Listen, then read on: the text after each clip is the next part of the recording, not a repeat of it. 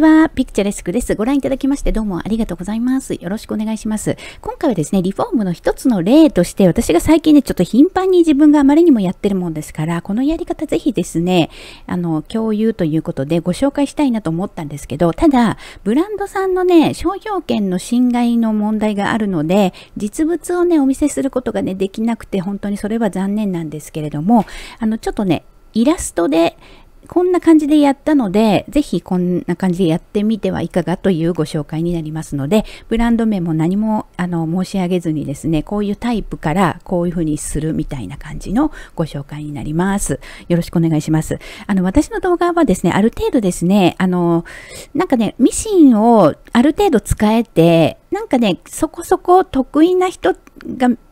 に向いてるかなって感じです。あの、私がちょっとあまりにも大雑把な、あのね、あの、ご紹介になりますので、これ聞いただけで、あ、なんとなくイメージが浮かんで、ああ、うんっていう感じになる人向けかなと思ってね、すいませんね。あの、ちょっと苦手な人とかはね、う、うん、ちょっと難しいなと思っちゃうかもしれないんですけど、あの、ミシンとかよくやる人であると、わ、そんな簡単だったんだって思うことのちょっと違いがあるので、やっぱりその辺はですね、あの、すいませんけれどもね、ちょっとね、あの、分野を割と、その、タイプ、ターゲットのなんかあのよく絞るとかあるんですけど、そういう面ではあの同じように、私と同じようにこのミシンを結構長いことやってきて、ある程度自分でアレンジとかも、のアイデアもあるんだけれども、っていう人、人向けかなと思うのでね、そういう人に楽しんでもらって、まあでも、初めての人でも、わ、こんなやり方もあるんだなっていうふうで見てもらってもいいんですけれども、その辺がですね、あの、ちょっと荒い感じの大雑把で細かいとこ、本当はそれっていうところをね、だいぶもう分かりきっていることでしょうって言って省略してる部分があるかもしれないんでね、その辺ごめんなさいね。でも結構ポイントとなるところは、ここでの、この動画の中で一番大事なポイントだっていうのは、その都度ね、いつもその度にご紹介しているので、まあそのポイントっていうのは逃さないようにしているつもりですのでね、そんな感じで見ていただければと思いますね。よろしくお願いします。それでですね、あの、今回は、あまりにも私がちょっと、あの、頻繁にこれは結構使えると思ったもんですから、あの、もうぜひぜひご紹介したいと思いますね。あのね、ポーチでも、小さいポーチだったらもうポーチとして使うんですけれども、結構大きいポーチってあるじゃないですか。まあ、セカンドバッグって言うとまたこれマチがないからあれなんですけれども、大きめのポーチでちょっと有効な手段になります。で、ちょっとこのイラストがあまりにも立体感がちょっとおかしくて下手なんですけど、あの、今回タブを強調したいもんですから、タブのところが黒く塗ってあるところになりますね。で、あの、上のゲジゲジはファスナーなんですよ。で、こういうちょっとマチのある、うんと、大きめのポーチがあるとします。で、そのポーチを結局ポーチとしてだとバッグの中に入ったらめちゃくちゃ存在感ありすぎて他のものが入りきらなくなっちゃうからポーチとしては使えない。だけれどもなんか立派な感じの作りでバッグになるんじゃないかと。で、ここ最近のちょっとしたまあ流れとしては小さめのあのショルダーバッグっていうところにだいぶあのねキャッシュレス化もあり、あの、ちょっとそういう流れがあると思うこともあり、そこにちょっと乗っかってですね、あの、ポーチであったものをバッグにしていくっていうのは、一つその、ちょっとマッチした部分があるかなと思いますね。で、あの、ちょっと条件があってですね、あの、もともと、あの、リフォームにがちょっとやりやすいためには、もともと、タブがついてないとダメなんですよね、両方にね。そうじゃないと自分でタブつけていかなきゃいけなくて、じゃあタブがつけれるかどうかっていう検討から入らなきゃいけないんで、とりあえずですね、短い時間でできる今回のご紹介のリフォームは、もともとタブが両端についてるっていうものになります。となると、タブの目的っていうのが、あの、ファスナーを開けたり閉めたりするときに、あの、つまみとしてのタブなわけで、あの、だからファスナーと一緒についてることが、コンビになってついてることが多いと思うんですよね、タブって。そうすると、ファスナー付きのポーチっていうところになるのかなと思います。で、それで、その中でちょっとそうお気に入りのものがあった時に、このタブのところをよく見ます。なかなかポーチ、タブ見る人ってあまりいないと思うんですけども、リフォームをするにあたっては、ちょっとそこは、あの、わざわざ見る必要がある部分かなと思うんですよね。で、あの、ちょっと例えばネットでそのポーチ買うにしても、うんと、ちょっとよくイメージしてほしいんですよ。そのタブが果たして、あの、ミシンで縫えるかどうかなんですよ。え、なぜつけてあるのにミシンで縫う必要があるのっていうところなんですけど、ここ一つポイントで、今までポーチとして使われていたもののタブの強度と、本当に今度ショルダーとして、ショルダーバッグとしてぶら下げる時の強度って同じではないんですよ。やっぱり求められるものはちぎれちゃダメですから、あの、一重仕立てで縫ってあるだけのタブっていうのはちょっとその、それだけでは、あの、いずれ取れちゃうっていうリスクが起きるので、まず最初にやることっていうのが、あの、ショルダーをつける前にですね、タブの縫いを補強するってことをやるんですね。で、そうすると、そのタブをぺたんこにしてミシンで立たして補強して縫うようなあのデザインなのかってことなんですよ。タブがね、あの、縫いにくいようなデザインだとちょっとそれもまずいんだけど、そもそもでもそのタブをミシンで縫い付けて作られていたポーチというのは、おそらくほとんどが、その、あの、ポーチの上から縫い付けても絶対ミシンが入るはずなんですよね。そうじゃないとそれさえ作れなかったっていう感じになるので逆に考えると。なのでほぼ大丈夫だとは思うんですけど一応そこ確認のためにそれをあのちょっと想像してみるということをやるんですね。でそしてあの返し縫いをね、まあ、4度ぐらいするあの縫い縫ったとこからスタートして、えっと、ぺたんこにしてちゃんと裏地とかこうこうキュッとなんか変なあのシワ寄っちゃわないように伸ばしたりしてやるんですけどでそういうことやるときにミシンであの実ごめんなさいね。実際にやってるとこはちょっと今回お見せできないもんですからね。もうやっちゃったんですけど。でそのやったやつもちょっと見せることができなくてすいません。図なんですけどね。で行ったり来たりするんだけども返し縫いの時に奇数と偶数で言うと偶数の方があの結び目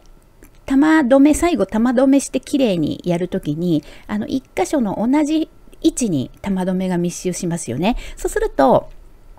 2度縫い4度縫い6度縫いってある中で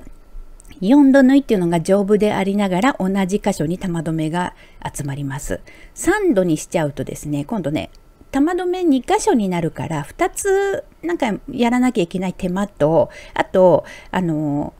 見栄えですね。まあ、裏側とはいえ、内側に玉留めが見えるので、やっぱり2箇所になるよりは1箇所の方がすっきりするだろうということになります。玉留めも目立たないものにするんですけれども、やっぱりですね、あの、すっきりしてた方がいいじゃないですかね。そうすると4度縫いっていうのがおすすめですね。こう、ミシンが行って、で、もう一回戻ってっていうので、を2往復分っていうことで元に戻っていくっていう感じで、あの、糸がね、22で4本集まるっていう感じになりますね。で、それをして玉止めして中でプチって糸切ったら、そ、こからのは今度ショルダーを取り付けるってことになります。で、2つ目ですね、ショルダー、その後半として、ショルダーを取り付けるっていうのの、そのショルダーをどんなものを選ぶか。で、私の場合は、ちょっとこだわって本革のものを取り付けたいかったので、その本革をまた別でですね、例えばポシェットなんかの、うんと、ショルダーが長いやつ？長くなくても別に自分の好みの長ささえあるものであればいいんですけど、その本革でよくね、劣化していても、ショルダー自体が本革の場合、ショルダーの本革ってね、無事なことがすっごく多いんですね。そうすると、そのショルダーだけ使うんですよ。そうすると、うんと、本体自体がボロボロに劣化したものですっていうことになってる中古品でも、ショルダーだけに今度目を向けるんですよ。さっき言ってたね、その、タブのところってあんまり見ないけどこう、いう時ばかりはタブに注目するというのと同じで、なかなかショルダーだけ見ることないんですけど、バッグの。その時ばかりはですね、やっぱりショルダーを取り付けるにあたっては、ショルダーだけに注目するんですね。そうすると本体のバッグの調子が、良かろうが悪かろうが、まあ自分の適正価格、まあショルダーだけ使うわけだから、もしかしてショルダーちぎっても、後々ポーチとしてそのバッグも運良ければ使えるものになるかもしれないんですけれども、たとえ最悪っていうか劣化してても、そのバッグ自体の内側がで使えない本体のものであっても、ショルダーだけ無事であればもうショルダーを購入したってことになるんです。で、ショルダーだけを購入するのって結構ね、割高なんですよね。で、いいのがないんです。で、しかも、留め具なんかもしっかりついてるんじゃなくて、だいたい皮紐だけだったりとかして、あまりちょっとね、あの、融通きかないと思うんですよね。そう、そうであれば、どっちみち、あのね、あの、ヴィンテージ市場のもので集めたものなんだからということで、とことんそれでいいじゃないかということで、出来合いの調整機能まで、ベルトのバックルまでちゃんとついたようなきちんとした本革のいいものをですね、ブランドの中で選んで、その状態のいい自分の好きな色の革ですね、本革なら本革。それをチョイスするっていうのをベルトに注目するっていう探し方をするんですね。で、それ、そして、そのいい色が見つかったらそのバッグ購入して、そこからちぎってですね、で、本体はまあダメな場合はもうダメですね。あの、劣化していて使えないものは使えない感じだけど、それでも売ってるっていうのがすごいですけどね。で、その、あの、劣化した部分は無視して、えー、今度はここのタブのところに付け直すことに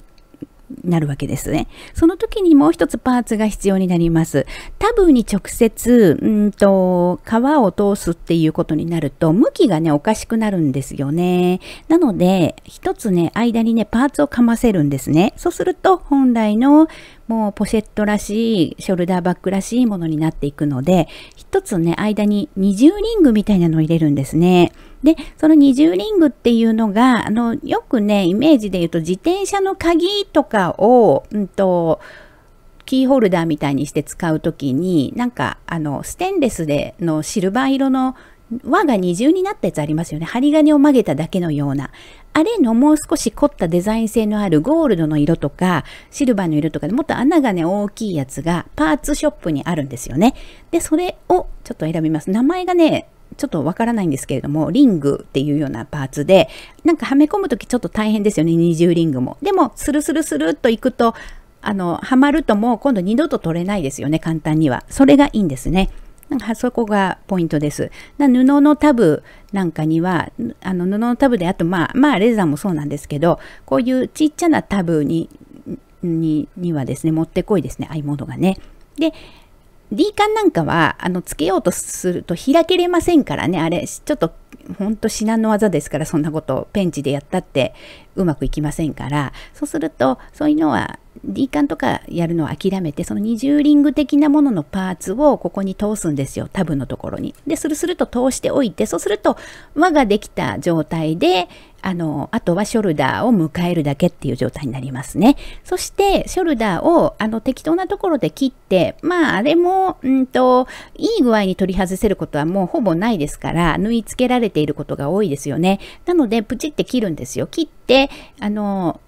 折り曲げてミシンをね、ちょっとかけてあげます。で、ミシンも何度の以下にしてあげたり、時にはね、私よくやるんですけども、あの、この細い向きだけに走らせるミシンだと弱いので、それに十字架のように縦にもちょっと走らせてみると、十、なんか、あの、支えるにはもってこいな、なんか、あの、強度の大大きい縫いになるのかなと思うので、返し縫いで十文字みたいな感じで適当ですけどね、あの、に、あんまギリギリじゃなくて結構余裕持って、で、それで、あの、返し縫いなんかしてですね、きちんとやって取り付けてあげればいいと思います。ショルダーぐらいならですね、よっぽどの分厚い革じゃない限り、今までやった中でね、ミシンが通らなかったことがないんです。だから、職業用ミシンであればですね、あの、ほぼ大丈夫です。重機のシュプールのようなタイプ、私が使っているやつのと同じような感じであれば、皮通りますので、その程度の部分ならね。そして縫い付けてあげれば、あとはもう元々ついてるベルトの調整機能のところを活かせばいいので、その最初にどのどれぐらいカットするかっていうのもよく考えて、調整機能も含めて、あの、最大限の、なんか、融通効くようにするのか、もうこれでいいって決めた長さにカットするのかとか、その辺は自分次第で、で、あのね、カットした後、そういう風に縫い付けるってことをやります。それでもう出来上がりになりますので、結構簡単にリフォームができるんですね。でしかも結構いいお品になるんですよ。革のもの。まあ布で、布のポーチであっても皮つけたかったら皮でもいいしっていう風ですね。逆に皮の、うんと、出来合いのものの方が見つかりやすいかもしれないですね。布とかのショルダーだけってちょっと見つけるの難しいかもしれないので、なんかそれだったら材料のお店での方があの布の場合はあるかもしれないって感じですけど、せっかくなので、あの本革をそうこういう時につけたいって思うならその方が見つかるかもしれないなっていうのが私がやってきた中ではそう思いますね。はい。という感じでちょっとごめんなさいね。今回ね、もう図一つだけなんですけれども、とお話だけでちょっと伝わったかどうかっていう感じなんですけど、手順をある程度あのお伝えしたつもりです。はい。ではこれ、今回はこのちょっと有効的なリフォームだったので、結構いろいろアレンジ効くと思いますし、いろいろやっていただけると思うしね、あの、なんか、新しい世界が見えてくるかもしれないです。新たになんか探さなくても、あ、そういうふうにポーチからバッグにもなっていくんだっていうちょっと新しい発見があるかもしれないので、ぜひちょっとお試しください。ではこれで終わります。ありがとうございました。